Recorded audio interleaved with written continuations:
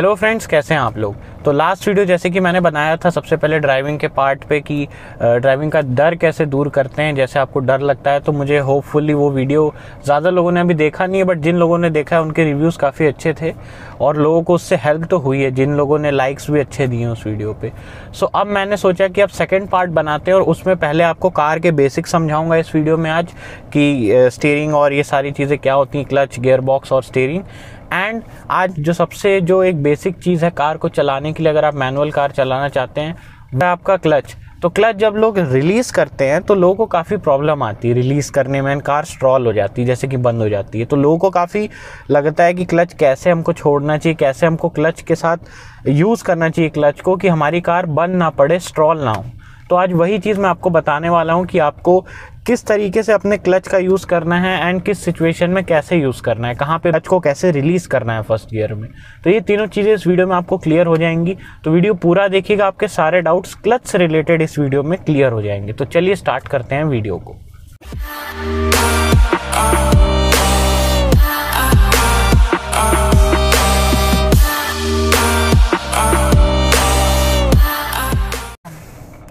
तो अब सबसे पहले मैं बात करता हूँ बेसिक्स के साथ जो कि कार के सबसे बेसिक हैं। तो सबसे पहले आता है आपका स्टीयरिंग व्हील तो जैसे कि आपको सबको पता ही है बट मैं एक बार पहले ये चीज़ें क्लियर कर दूँ ये एक मिनट लगेगा इसको क्लियर करने में। सो so, सबसे पहले आपकी स्टीयरिंग व्हील आती है इससे आप कार को मैनूवर करते हैं। एंड यही मेन चीज़ है कार को जो डायरेक्शन देती है चलाने में।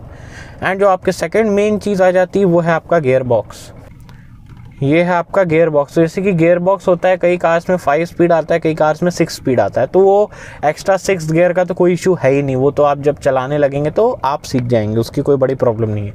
मेन इशू कहाँ पर आता है गेयर बॉक्स के साथ?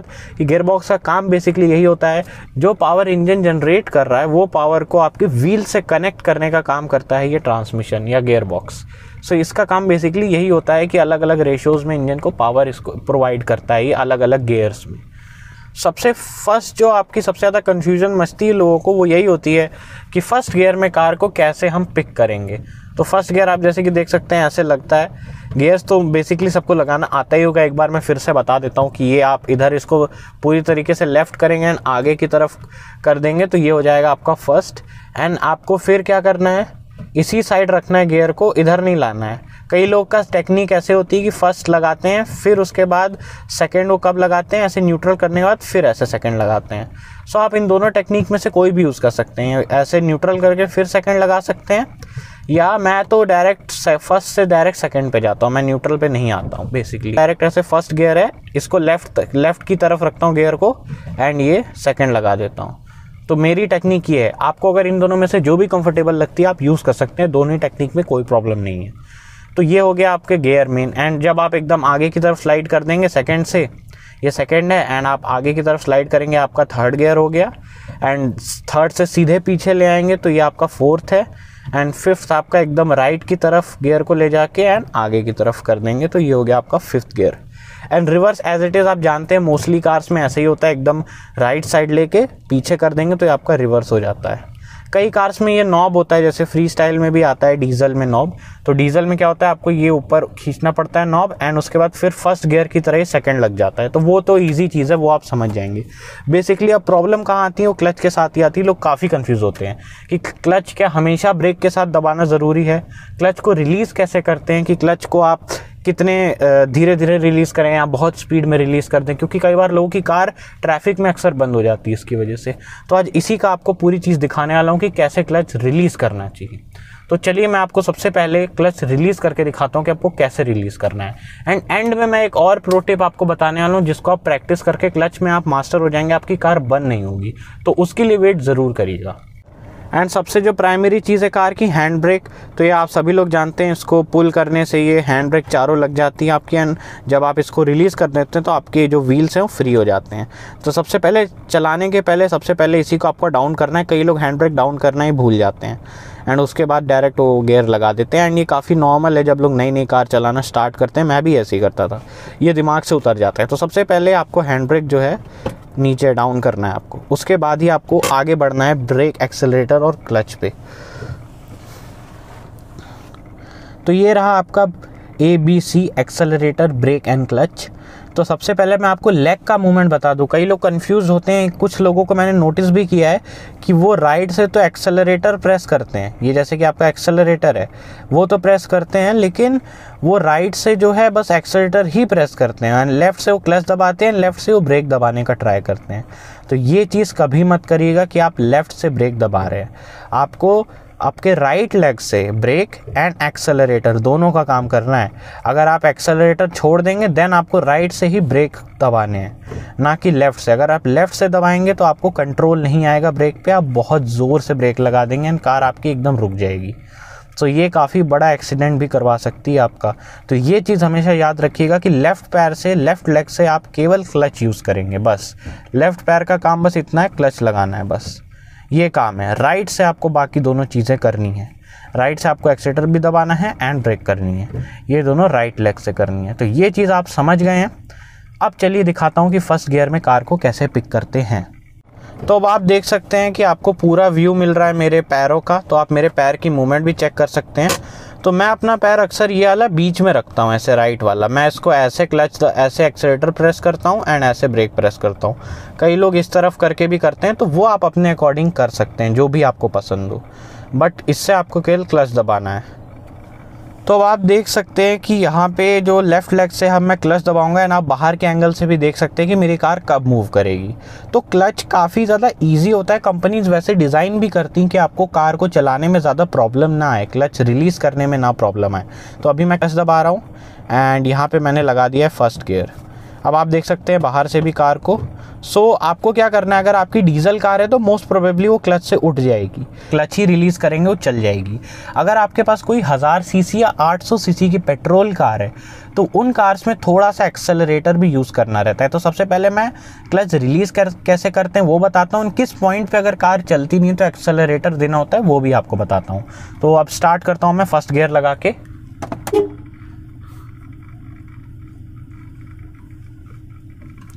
तो ये मैंने डाल दिया फ़र्स्ट गियर अब देखिए मैं क्लच कैसे रिलीज़ करता हूँ। मैं ये देखिए, मैंने थोड़ा क्लच रिलीज़ किया, मेरी कार चलने लगी।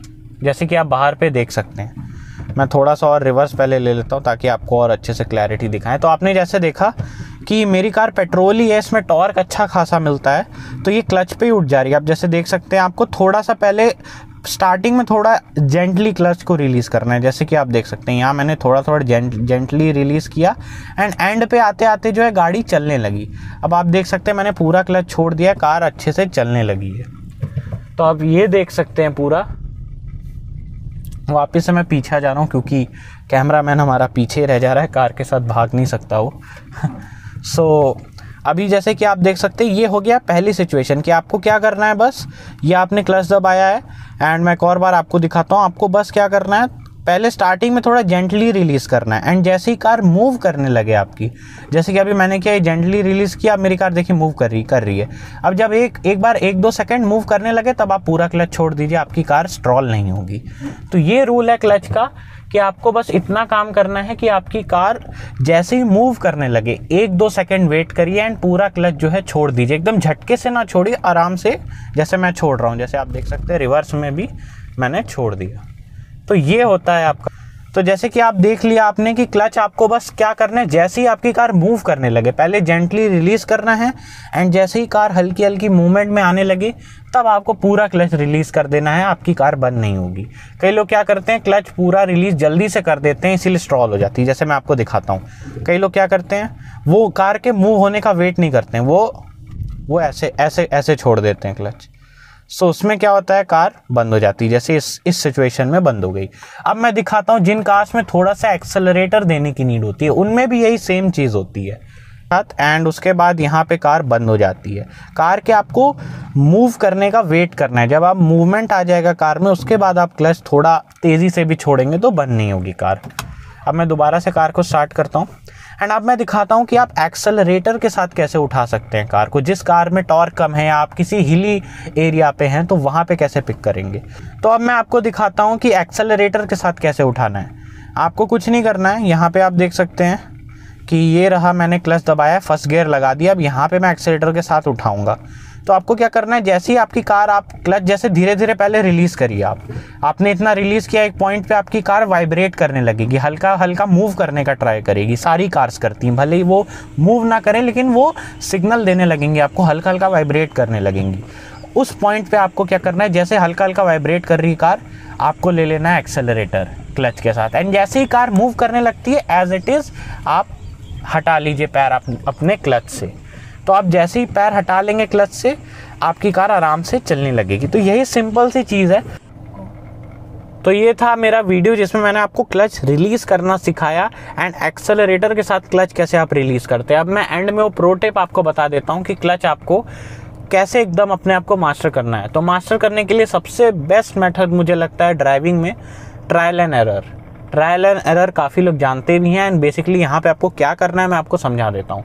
कुछ नहीं करना है, आपको कार स्ट्रॉल करनी है दो दिन दो तीन बार। आप अपने मर्ज़ी से क्लच छोड़ के देख लीजिए कार स्ट्रॉल हो जाएगी आपको उस उस समय एक्सपीरियंस हो जाएगा कि कार कब मूव करने लगी थी एंड कब मुझे क्लच को थोड़ी देर होल्ड करना चाहिए था कि कार मूव करे देन मैं क्लच छोड़ दूँ पूरा। सो so, यही चीज़ है कि कार जैसे ही मूव करने लगती है वो एक सेकेंड आपको रुकना है। एक सेकेंड जब कार मोशन में जैसे ही आ जाएगी आपको पूरा क्लच रिलीज़ कर देना सिंपल यही चीज़ है। आपको जैसे अब इस कार में टॉर्क फिगर अलग है, हर कार में पावर एंड टॉर्क फिगर अलग होते हैं। तो हर कार का थोड़ा थोड़ा बिहेवियर भी क्लच को लेके डिफरेंट होता है। तो इसीलिए मैं कह रहा हूँ, मैंने आपको ये चीज़ तो बता दी यूनिवर्सल चीज़ है जो मैंने आपको बताई है। लेकिन अब आप अपनी कार में और मास्टर कैसे बन सकते हैं, वही चीज़ है ट्रायल एंड एरर आप एक दो बार स्ट्रॉल करके देख लीजिए, एक दो बार अपने हिसाब से अलग अलग पोजीशन में क्लच को रिलीज़ करके देख लीजिए, आपको खुद ही समझ में आ जाएगा कि मुझे कब क्लच रिलीज़ करना है, कब मुझे क्लच को थोड़ी देर होल्ड करके रखना है। तो आपकी कार इस अकॉर्डिंग जब आप चलाएँगे तो कभी स्ट्रॉल नहीं करेगी। तो होपफुली मुझे लगता है इस वीडियो में आपको जो फ़र्स्ट गियर में क्लच उठाने की, जो ट्रैफ़िक में लोग फंस जाते थे कई बार रेड लाइट में तो ये वीडियो देखने के बाद आप नहीं फंसेंगे। एंड इसके बाद अब मैं, ये वीडियो काफ़ी लंबा हो गया, मैं इसी में और चीज़ें ऐड करने वाला था बट मुझे लगता है उसके लिए सेकंड पार्ट बनाना पड़ेगा।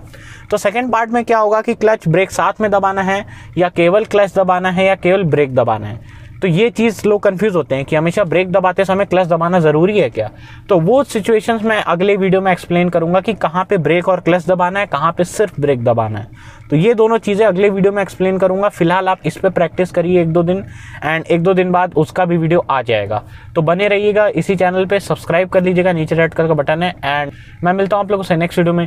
तब तक के लिए सीट बेल्ट पहनिए हेलमेट पहनिए एंड सेफ़ चलिए। Good bye